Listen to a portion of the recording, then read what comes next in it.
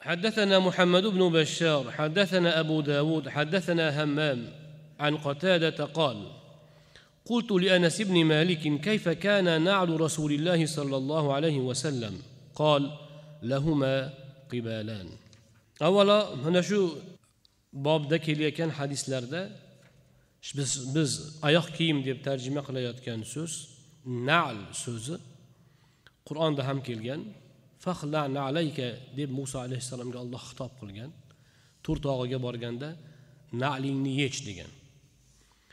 Mana shu so'zning tarjimasi haqida men qisqacha e, bir ishora qilib o'tmoqchiman. Tarjimonlarimizga ko'pchilik nalni kavush deb tarjima qiladi.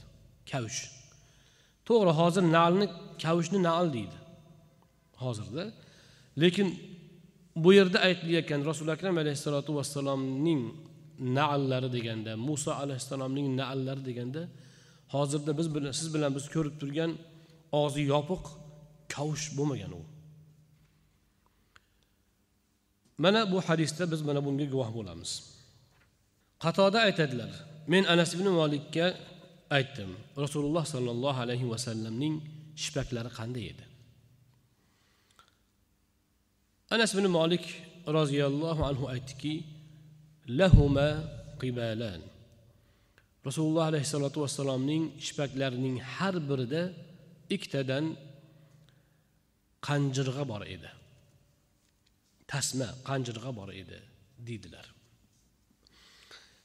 Demak bu nal so'zini kavush deb tarjima qilish noto'g'ri. Chunki bu yerda aytilyaptiki o'sha nal qanaqa edi desa uning ikkita tasmasi bor edi. Bizda slansi deb qo'yamizu haligi bitta boshmaldoqni o'rtasiga kiradigan joyi bor hm?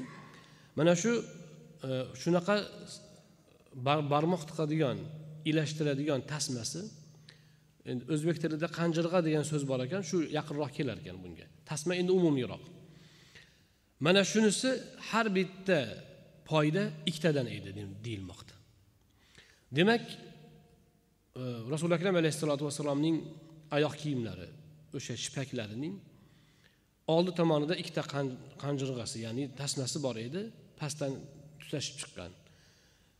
Uni birini boshmaldoq bilan undan keyingi ko'rsatkich barmoq deymiz endi oyoqda ko'rsatkich barmoq bo'lmaydi undan keyingi barmoq.